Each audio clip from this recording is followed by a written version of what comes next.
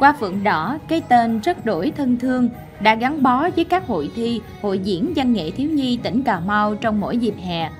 Riêng tài năng qua Phượng Đỏ năm nay là một qua thứ ba được tỉnh đoàn, hội đồng đội tỉnh tổ chức quy mô phong phú và hấp dẫn hơn.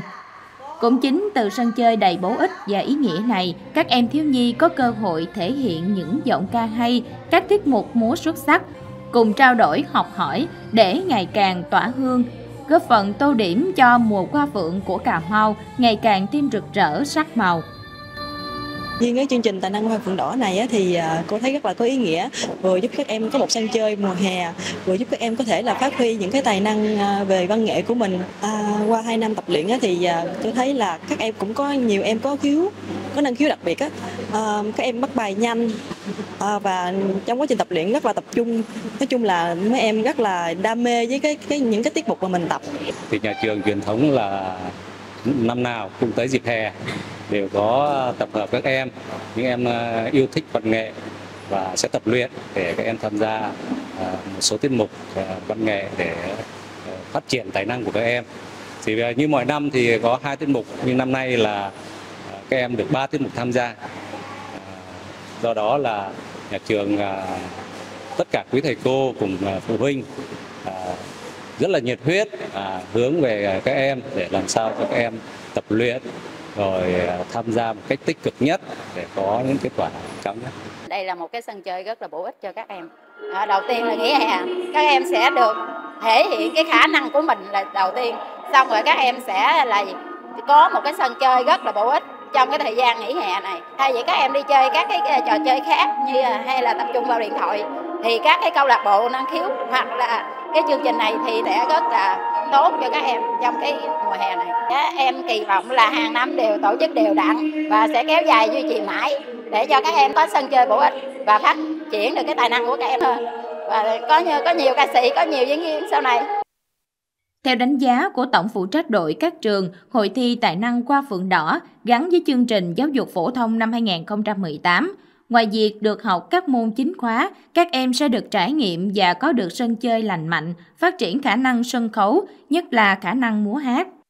Theo đó, từ ngày 20 tháng 6 đến ngày 30 tháng 7, ban tổ chức hội thi đã nhận bài dự thi sơ khảo từ chính quyền thành phố. Kết quả, có 147 bài thi tham gia. Các em đội viên thiếu nhi đã thể hiện tài năng trên nhiều lĩnh vực tham gia như ca, hát, múa lân, đánh đàn – từ đó, ban giám khảo lựa chọn 77 tiết mục đạt đủ tiêu chuẩn, chất lượng để tham gia dòng trực tuyến trên fanpage Thành Thiếu Nhi Cà Mau. Và sau 5 ngày bình chọn, cùng với số điểm nhận được từ ban giám khảo, 38 tiết mục xuất sắc, trong đó có 21 tiết mục tập thể, 17 tiết mục cá nhân đã lọt vào vòng chung kết xếp hạng, biểu diễn trực tiếp vào ngày 6 tháng 8 vừa qua. Hầu hết thì các đơn vị đều có sự đầu tư rất là kỹ lưỡng từ phục trang đậu cũ từ chương trình nghệ thuật cho tới con người. Ở về cái mặt tích cực của hội thi lần này thì cũng như những lần trước là chúng ta đã phát hiện được các cái tài năng ở từ cơ sở cho trở lên. Các em được tự do để mà đăng ký gửi clip. Các em tự gửi clip được tự đăng ký được. Rồi những clip nào xuất sắc nhất những cái tài năng nào thực sự thì sẽ được lọt vào vòng chung kết. Sau 3 lần tổ chức hội thi thì cho tới thời điểm này thì đã phát hiện được rất nhiều cái giọng ca tốt. Những cái giọng ca này là à, nền móng cho các em à, tham gia những cái liên hoan những cái hội thi cấp khu vực và cấp toàn quốc sắp tới. Con con không ngờ là con được giải nhất.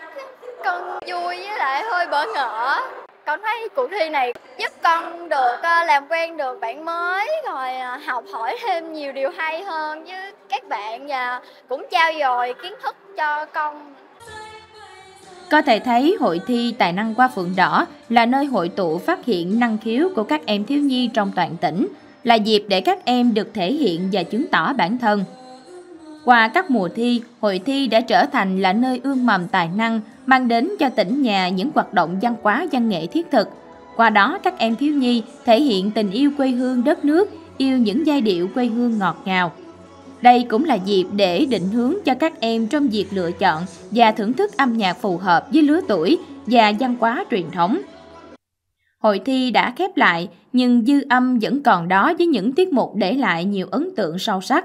Theo đó, ban tổ chức đã trao tặng bằng khen của Ban chấp hành Đoàn Thanh niên Cộng sản Hồ Chí Minh tỉnh Cà Mau cho 9 tập thể quyện thành phố, 21 tiết mục tập thể, 17 tiết mục cá nhân đạt thành tích cao và 5 tiết mục có bình chọn cao nhất tại dòng bán kết. Đơn vị quyện Trần Văn Thời đoạt giải nhất toàn đoàn.